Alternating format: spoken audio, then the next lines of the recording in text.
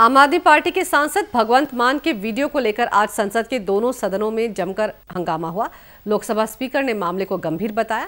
वहीं कांग्रेस ने भगवंत मान को जेल भेजने की मांग की। संसदीय कार्य राज्य मंत्री मुख्तार अब्बास नकवी ने भगवंत मान पर एनएसए लगाने की मांग की।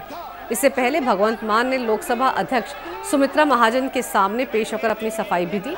दरअसल भगवंत मान ने फेसबुक पर वीडियो डालकर संसद की सुरक्षा पर सवाल खड़े कर दिए। भगवंत मान जब गुरुवार को सुबह दिल्ली में अपने घर से निकले तो उन्होंने संसद जाते समय पूरी तस्वीर फेसबुक पर पोस्ट कर दी। संसद की सुरक्षा के नियमों के हिसाब से संसद में सदस्यों को मोबाइल फ़ोन लेकर जाने की अनुमति तो है, लेकिन वो किसी तरह की रिकॉर्डिंग नहीं कर सकते। भगवंत मान ने संसद के सभी नियमों को ताक पर रख दिया और लोकसभा के अंदर की तस्वीरें ना सिर्फ़ रिकॉर्ड की, बल्कि उन्हें फेसबुक पर भी अपलोड कर दिया। जो सुरक्षा के लिहाज से बेहद संजीदा मामला है।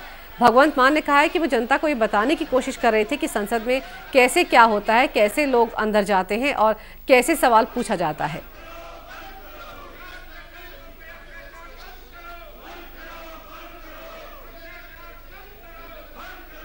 और इस मामले पर हमारी संवाददाता अनामिका रत्ना ने लोकसभा स्पीकर सुमित्रा महाजन से खास बातचीत की। क्या भगवंत मान आपसे मिले? श्री भगवंत मान मुझे मिलने ज़रूर आए थे।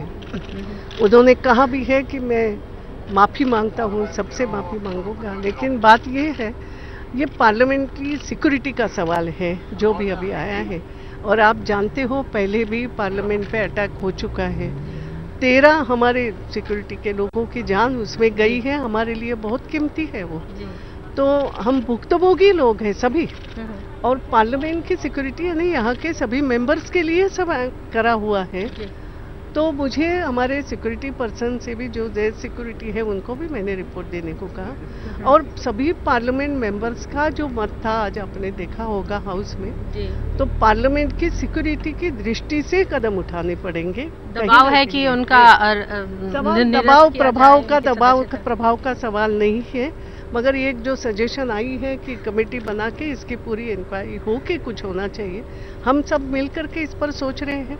और मेरे लिए prime thing is parliamentary security ज़ाहिर तौर पर सुमित्रा महाजन जी का कहना है कि कहीं ना कहीं ये सिक्योरिटी से जुड़ा मामला है और उन पर ये दबाव है वो समय आने पर उचित फैसला लेंगे समय। कैमरामैन देव मेहरा के साथ अनामिका रत्ना।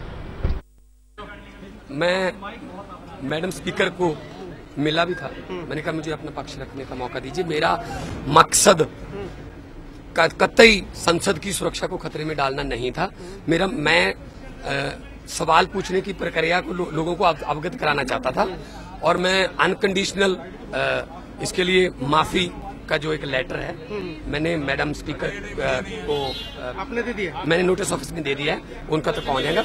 उसमें मैंने ये लिखा है कि मैं अनजाने में मैंने संसद में जब आ रहा था शून्यकाल डालने तो मैं वीडियो बना ली। तो जिसके लिए मैं आपसे बिना शर्त माफ़ी माँगता हूँ, मैं भी देश के लोकतंत्र के सबसे बड़े इस मंदिर का सम्मान करता हूँ। मैं कतई नहीं चाहूँगा कि इस लोकतंत्र के मंदिर का अपमान हो। भविष्य में ऐसा ऐसी गलती ना हो इसका मैं उनको विश्वास लेकिन